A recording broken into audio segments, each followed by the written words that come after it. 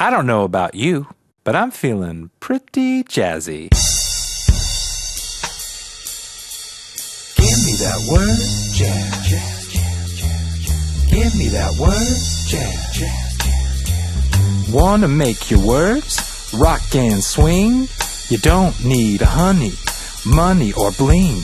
Just try this cool old grooving thing. Combine a couple sounds and make it sing.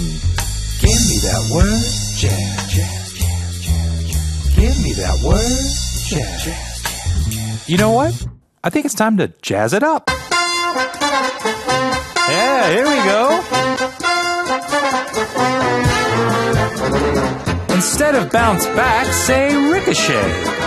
Jazz up flat and use horizontal. You can swap a mess with a swinging disarray and boost that mad with hostile. What do you say?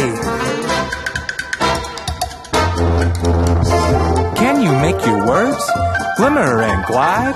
Use rhythmical words that's sliver and slide. No matter your size, age, or grade, just the right word can serenade.